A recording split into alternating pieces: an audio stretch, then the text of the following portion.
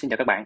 À, trong video ngày hôm nay thì mình ờ, sẽ chia sẻ với các bạn ờ, cái cách mình sử dụng cái tính năng uh, auto tracking uh, tự động bám theo cái chuyển động của các cái vật thể trong video uh, và mình sẽ không cần phải dùng các cái keyframe bằng tay. Uh, trong cái cái video ví dụ này thì mình sẽ uh, bám theo chuyển động của hai cái cái cái mẫu vật này ha. Rồi thì uh, các bạn có thể uh, chọn cái kiểu uh, test nè hoặc là các cái icon hoặc là các cái hình ảnh để mình bám theo ờ, các cái ờ, mẫu vật trong ờ, clip. Ok thì với cái mẫu vật số 1 thì mình sẽ chọn cái icon. Rồi mình sẽ điều chỉnh cái kích thước và vị trí đầu tiên của nó ha. Rồi thì, thì mình sẽ chọn cái vị trí xuất hiện đầu tiên. Rồi cái mẫu vật nằm đây ha. Rồi mình sẽ di chuyển cái mũi tên tới cái vị trí đầu tiên nè. Ok.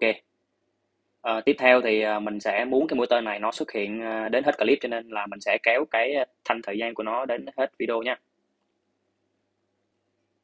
Rồi, bước tiếp theo là các bạn sẽ, ờ, chọn cho mình cái, cái tính năng, tracking nè. Rồi, thì đầu tiên các bạn sẽ di chuyển cái, tâm của cái, tracking này tới, đúng cái tâm của cái vật thể của mình. À, tiếp theo là các bạn sẽ điều chỉnh cái, chu vi, cái cái đường bao nè vừa đủ ha. Các bạn nên nên từ hai một chút để để nó bao luôn cái cái bóng của vật thể mà khi mà nó chuyển động nhanh á nó sẽ có cái cái cái bóng á là mình sẽ bao luôn cái bóng đó. Ok rồi. Sau khi xong rồi thì mình sẽ nhấn nút ờ, uh, tracking này để nó phân tích.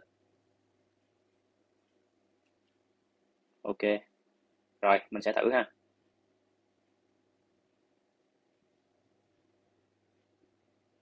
Rồi ok cái mẫu vật thứ nhất rồi tới cái ờ, cái cái cái cái bậc thứ hai là cái ờ, cái banh này. Rồi thì ờ, ở đây mình sẽ chọn là kiểu uh, kiểu test nha. Ok.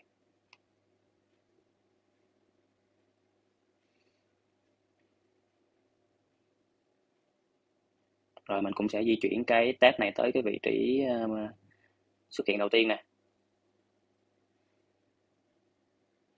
Rồi à, tiếp theo là cái tag này mình sẽ ờ, mắc dấu ở cái cái đoạn này nha cho nên mình sẽ kéo cái thành thời gian của nó.